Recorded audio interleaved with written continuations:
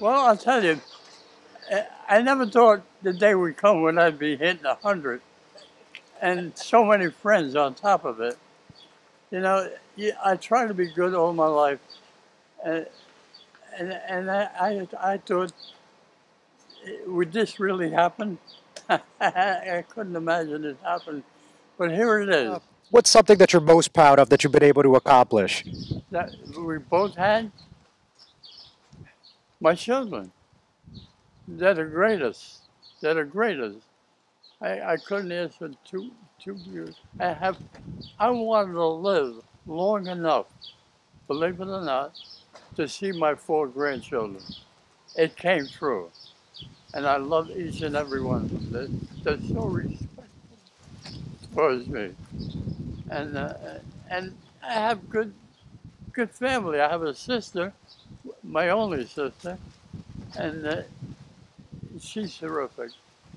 And my nephew. So when you're talking about veterans getting reintegrated in society today, and you know the way that they're treated and the way that you know they're trying to get into the workforce, things like that. If you could pick up the phone and talk to President Biden or someone from the White House, what would you recommend or what would you suggest? the veterans themselves could use more benefits. Number one, Yeah.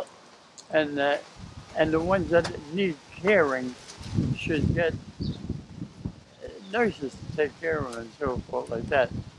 But uh, when I mostly mentioned them, a little on the political side, we were all there for one reason: to fight democracy.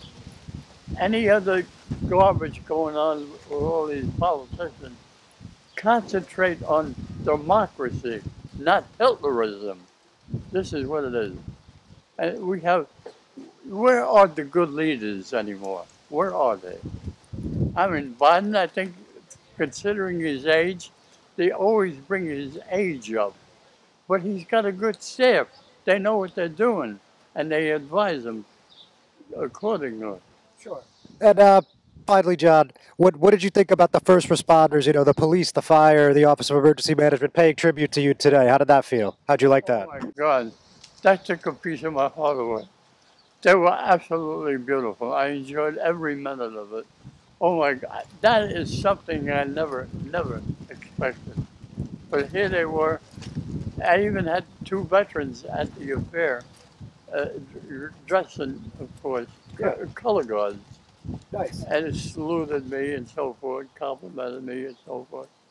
But, uh, but getting back to what happened here today with those cars, oh my God, that's enough to, not in a hundred years, I will live something like that. All right. Yeah, great. I'm glad they were able to do that for you. Anything else you want to tell me today? Well, I, I don't know what to tell you except that I had, I had uh, something with my wife. I never, not once, one day, and everyone should take this advice, say to them more often, I love you. It's two, three beautiful words that kept me going. I love you. And, and that's the way I feel about most people that I dealt with.